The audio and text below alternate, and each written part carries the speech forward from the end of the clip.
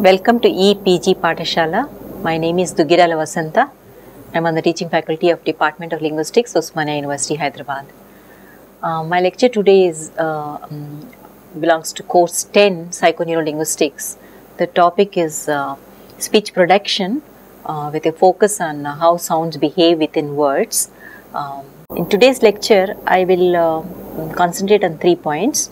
One is how different phonological representations are acquired by children, how sounds are learned and used as part of early words, and uh, then I'll offer some examples from one or two Indian languages. You know from basic linguistics course that uh, you we make a distinction between phones, phonemes, features, syllables, and words.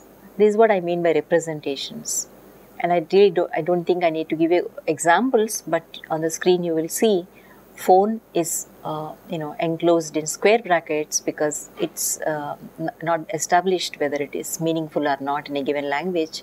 Phoneme on the other hand is uh, enclosed in uh, slashes because um, you know I mean we do that after doing phonological analysis and establishing phonemes of a given language. Then uh, a whole lot of features make up the phonemes. So in this case, ka is a velar, and uh, the uh, velarity, the velar consonant combines with the vowel to become a syllable. So ka, ki, kai, these are all syllables. Then you have words. So syllables come together to form words like cat, kit, kite. Mm. So these are phonological representations. Now, you know, in the 50s, Jakobson, uh, Jakobson proposed a hierarchy of uh, how these representations are learned by children.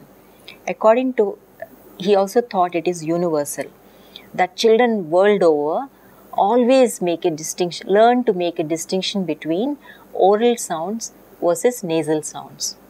That's the first contrast that children all over the world acquire.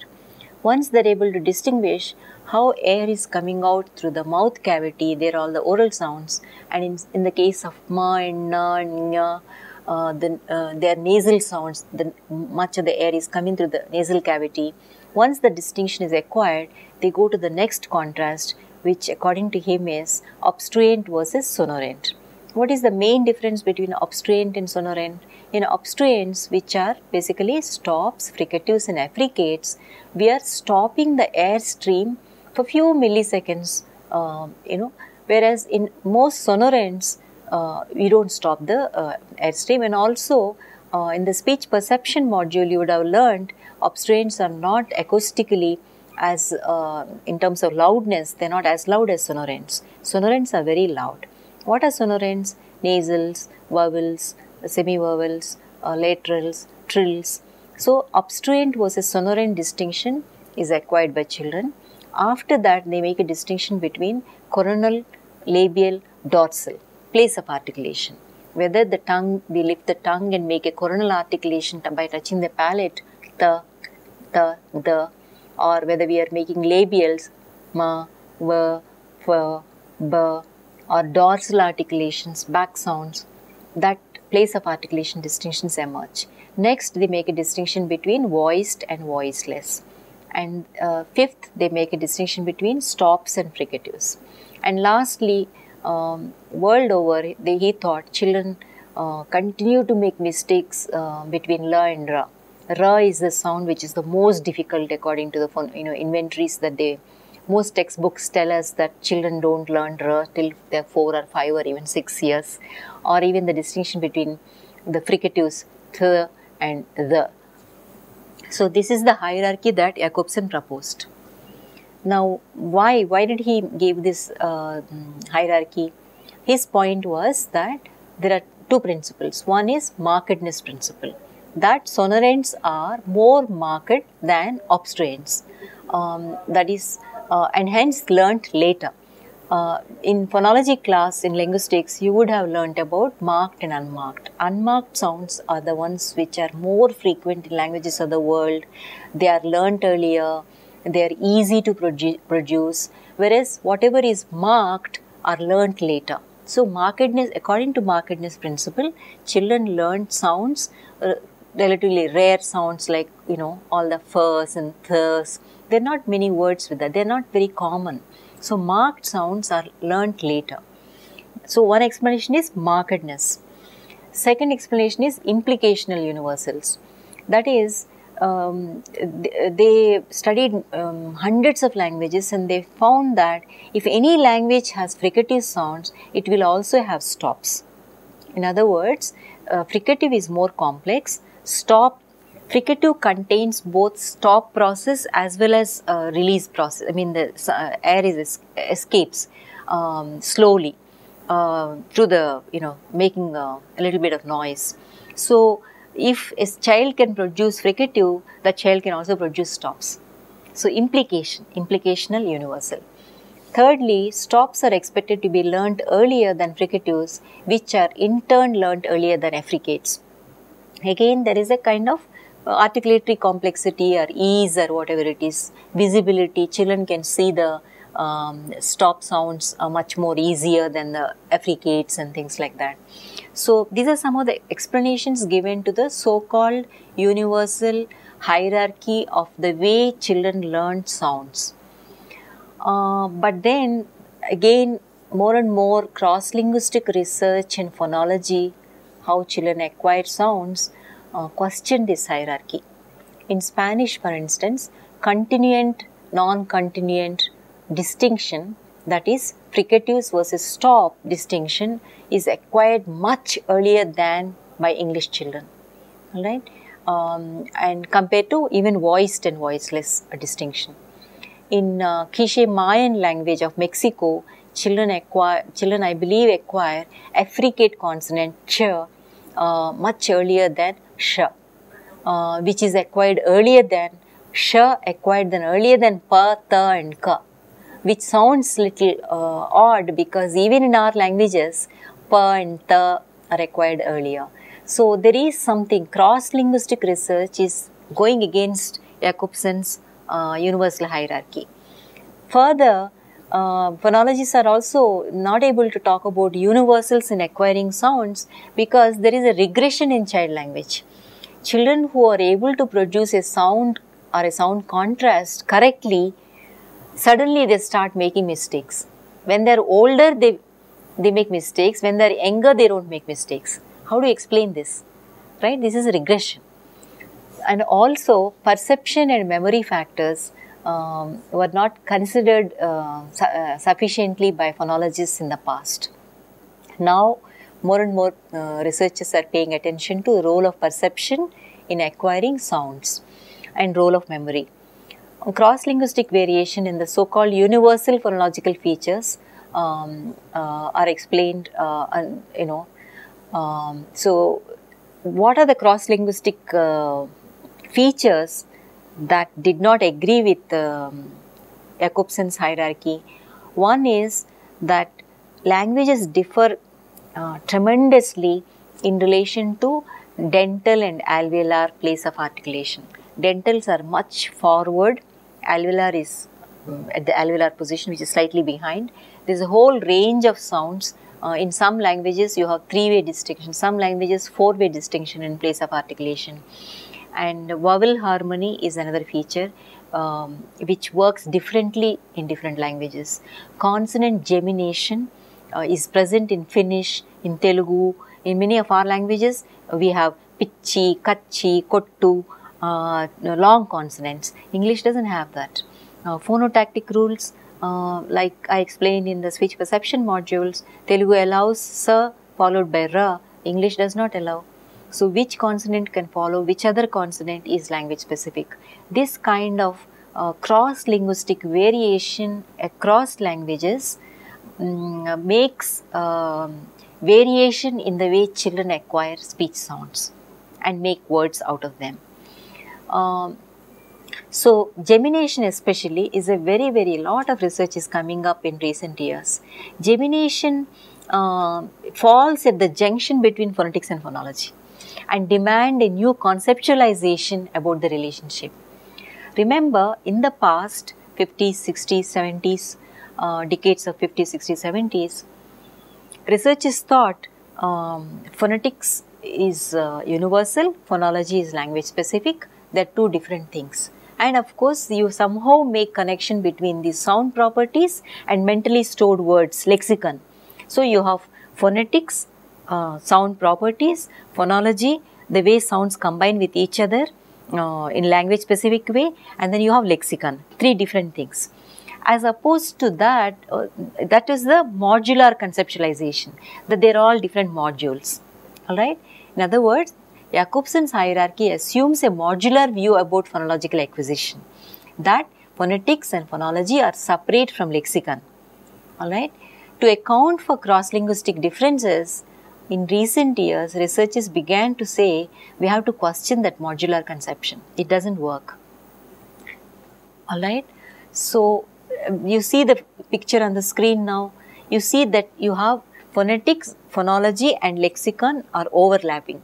All three of them are overlapping. So, this is a new way of looking at lexicon phonetics phonology interface and unless you take this perspective you cannot explain why there is so much variation in the way children are acquiring sounds and learning to make use those sounds to make up words.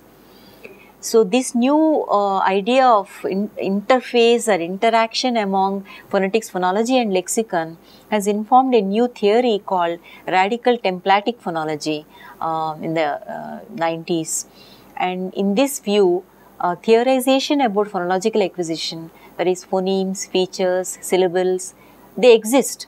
Uh, these constructs which have always been there as part of linguistics exist, but they are defined in terms of their role in word structure.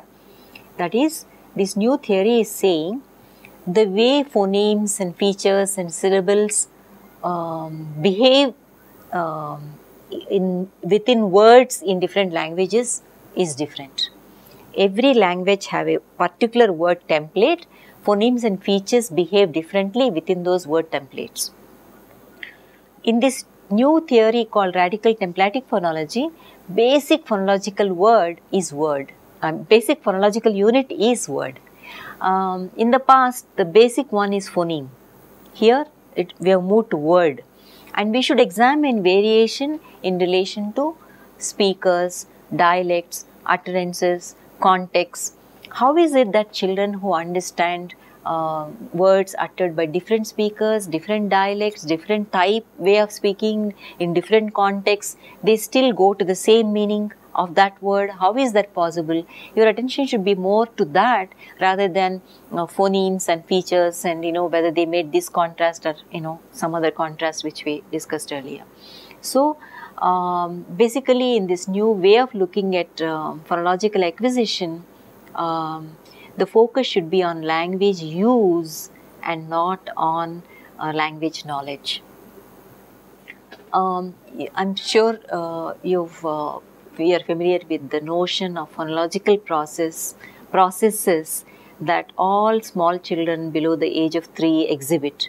When children are growing up, they are learning a language, they um, display simplifying processes. Adult words are simplified, all right. Um, most children cannot, the child who cannot say sir will substitute sir with the. So, a Telugu word like sanchi, which means bag, becomes tanchi, right. So, almost all children go through the stage where they exhibit phonological processes. Let's look at some important processes. Stopping. What is stopping? What I gave you just now. Substituting the for sa. If it is an English child, instead of saying si, the child says ti because sa is not acquired yet. So, what is happening uh, uh, when uh, is produced as the, uh, the child is stopping the airstream when he or she should not be stopping. You should say you know the air should escape gradually. It should not be stopped. So this process is called stopping. That is c becoming t is an example of phonological process called stopping in which the airstream is stopped when it should not be stopped. Another process is called assimilation. An english speaking child instead of saying duck the child says guck. What exactly is happening? Here the later occurring velar sound ka is influencing the first sound. Okay, instead of saying the, which requires moving the place of articulation, the child is staying with velar articulation. So, ka is velar, ga is velar. So, uh, duck is becoming guk because both ga and ka are the same place. So, it's much simpler to stay at the same place than move the tongue quickly. So, duck becoming guk is called assimilation and it's kind of regressive like from back to they can also exhibit forward assimilation. You can learn from the textbooks. The third major process children exhibit is fronting. So instead of saying goat the child will say dot so ga is a back sound the is a front sound. Therefore the process is called fronting. The child is fronting so, uh, this um, then metathesis, um, uh, extremely common even our uh, children learning our languages exhibit metathesis. Metathesis is displacing the order of phonemes within words. So, uh, instead of saying animal, the child says aminal, alright.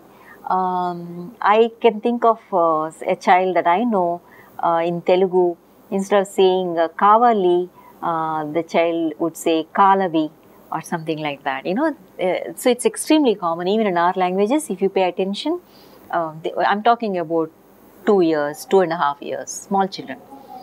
Cluster reduction is another process.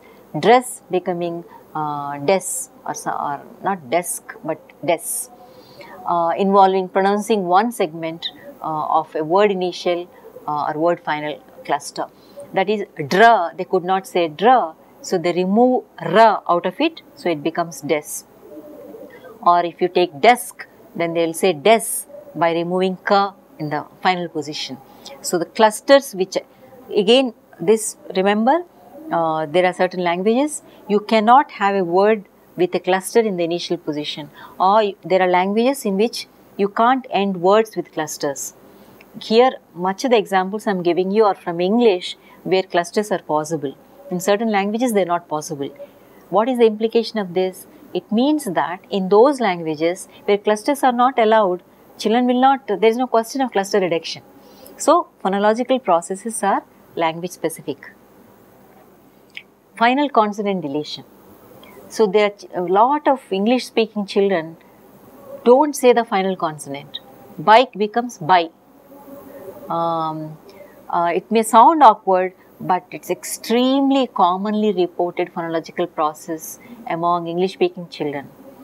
And in all my research, uh, my colleagues' research in the department on phonological processes in Telugu, we never come across uh, final consonant deletion. Telugu children don't delete final consonant. So, the point that I'm trying to make is we learn about simplifying processes, but they're all language specific. Languages um, phonotactic regularities or uh, uh, which phonemes are more frequent, which are not more frequent. These kind of language specific features influence the way children learn sounds and use those sounds within words.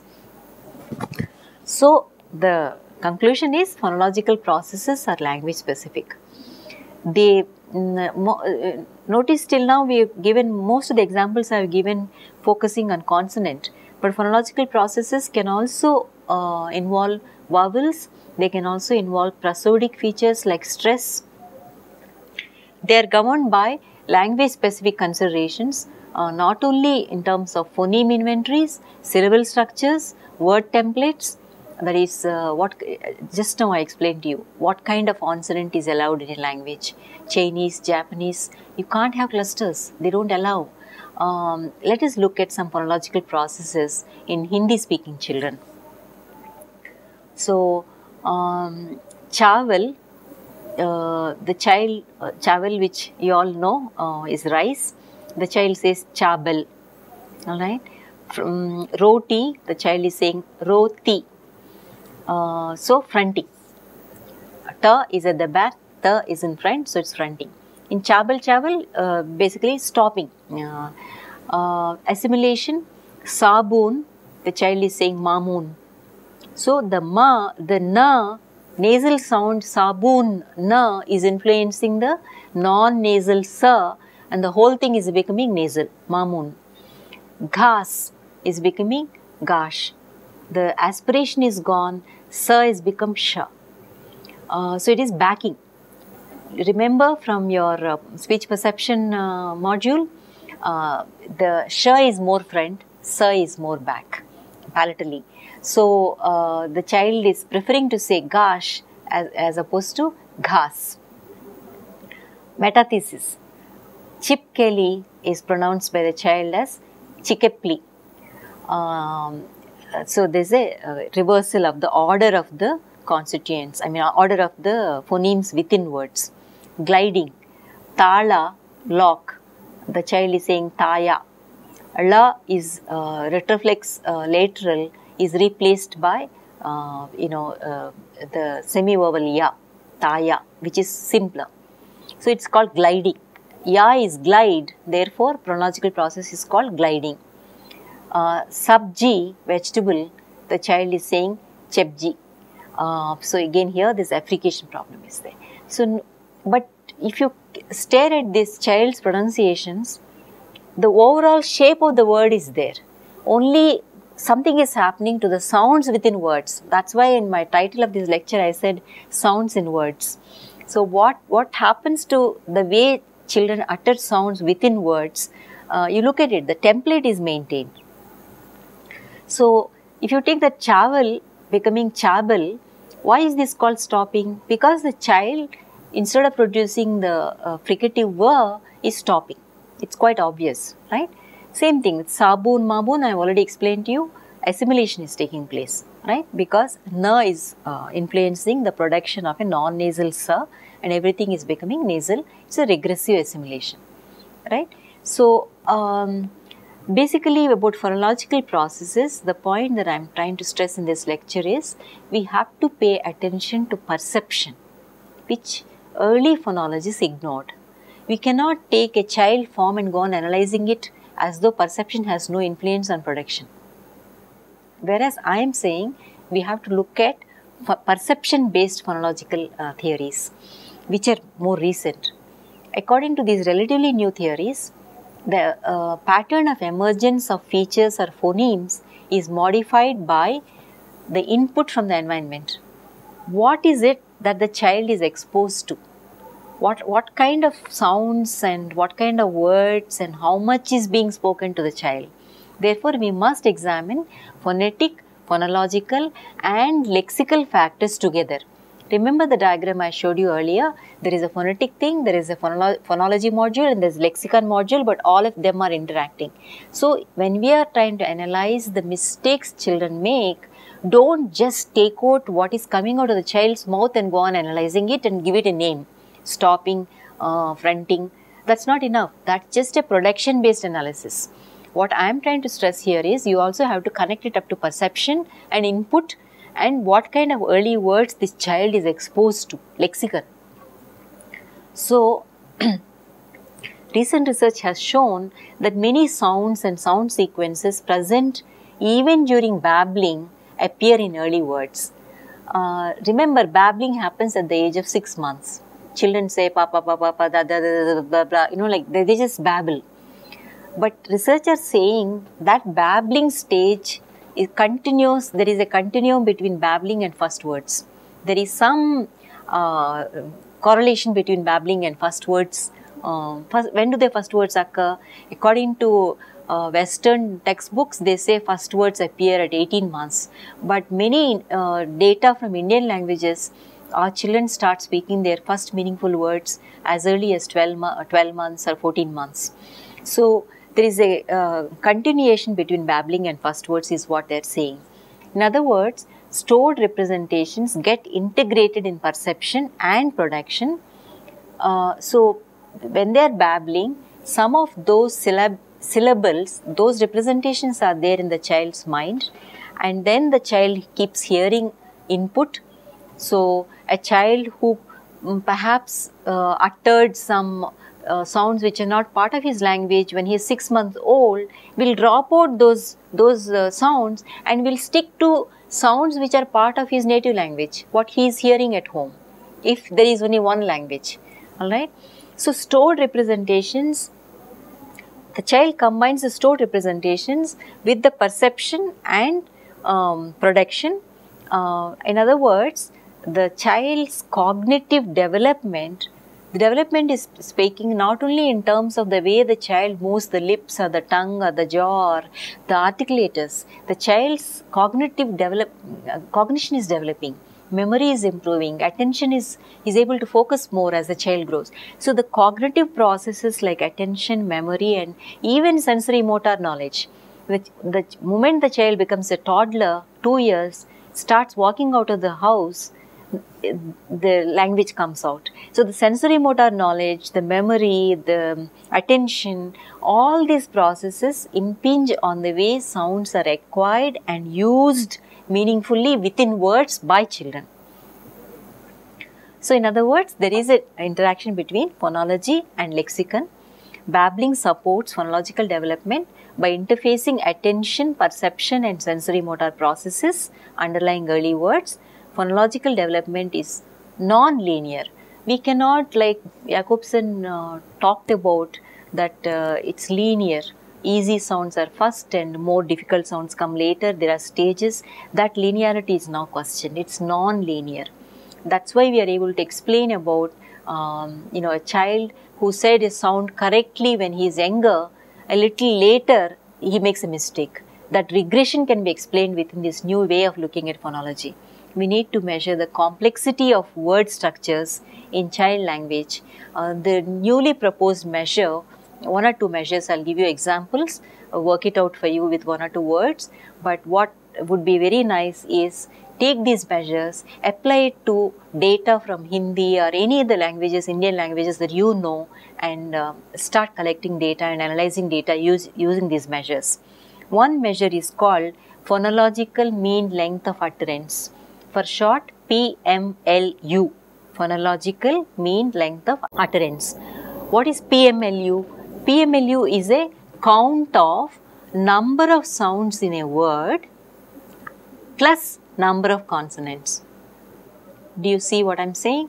So, let us take the original, uh, you know, what I have, I, I read to prepare this lecture, I got the example from Finnish but it doesn't matter. Let's look at a Finnish example called Vene. I believe in Finnish, Vene means boat. Now, this is correct adult target, Vene. In Vene, you see how many sounds are there? Four, right? V, E, N, E. So, take four. There are four different sounds. Then add consonants. How many consonants are there in Vene? V and N, two. So, Vene has a PMLU of 6, right? Now, suppose the word is, the Finnish word is tractory. Tractor, it's a much difficult word. So, let's see how many sounds are there. T, R, A, C, T, O, R, 8. So, take 8. How many consonants are there? T, R, K, T, R. Different consonants, okay? 5. So, 8 plus 5 is 13. So, uh, tractory has a PMLU of 13 number of different sounds, number of consonants. You add those two, you get PMLU. Suppose you have a small child, two year old child learning Finnish. Instead of saying vene, the child says nene. Alright?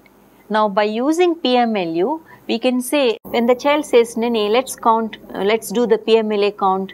You have 1, 2, 3, 4, 4 different sounds. Only n is there. So add 1 per consonant, so you get 5. Since only one consonant in the target is pronounced correctly. Let's look at one more measure. Proportion of whole word proximity, PWP. Okay. This is calculated by dividing PMLU, which I have already explained to you, by that is child's PMLU by adult PMLU. We've been talking about, I gave you the example of Finnish words uh, the child mispronounced uh, Vene as Nene. So you have two, two uh, numbers. One is the adult target and one is a child's PMLU. Divide one by the other, you get PWP. So uh, for the second word that lactoli, the child said for a tractory, the PWP would be 9 by 13, which will be 0.69. You go back and check it out by yourself later on. Then the third one is called proportion of whole word correctness, PWC. This is calculated by dividing total number of words the child produces correctly by the number of words in the sample. So you, you collect for few minutes total number of words you have. Out of that, what the child pro pro produced correctly, you divide both, you get um, proportion of whole word correctness. So PMLU, PWP, uh, PWC are some of the new measures that child phonologists are using these days to find out about phonological development. So until now we mm, we are going on saying word, no, but what is a word? Word in English, mm, you get any number of uh, simple monosyllabic words. Mostly they're all monosyllables. But outside of English, you may not get cat, mat, bat kind of words right? We have already talked about this. In Telugu, everything is CV, CV. So you have Kalu, Balu, Malu, Chettu, uh, you know, they're, they're not, uh, you know, they always have two syllables. So, they, but there is no need to equate word with monosyllable outside of English.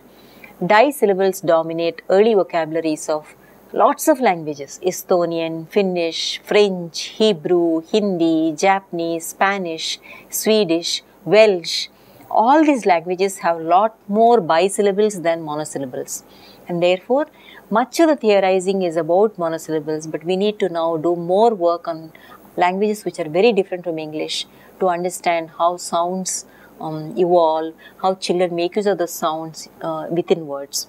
So commonly occurring words have the structure, I've already mentioned this to you, CVCV in Telugu. Um, so to come to the end of my lecture today about sounds in words, uh, how children learn sounds. Um, two main points. Language learners are sensitive to, very early on, children become sensitive to phonotactic regularities, uh, uh, you know, which govern the kind of words which are allowed in a given language. Certain sounds can occur in the initial position of a word, certain sounds are banned in the final position, or you know, those are phonotactics. So, according to a new, um, uh, relatively new theory, I introduce you radical templatic phonology, um, which is uh, described by Croft and Vihman. I've given the reference in the e-text. Please read the original uh, article. Children develop implicit phonological grammar out of the words they learn as wholes, as words. Alright? Since word is identified by the child as the same by its meaning uh, in the context of its use. That is, the child very early remembers the word as a whole. So, whenever it is used by grandmother, by mother, or it is outside or in the school, the child is able to remember that word. And therefore, the focus should be, the unit of analysis should be word and not feature or a phoneme or a syllable. Um, this particular point is explained very well in using Hindi data in the e-text. So, I urge you to look at the Hindi data in the e-text uh, to try and understand uh, this new theory. I hope you understood the main points uh, of my lecture, uh, but do consult the e-text if you have any doubts. Thank you.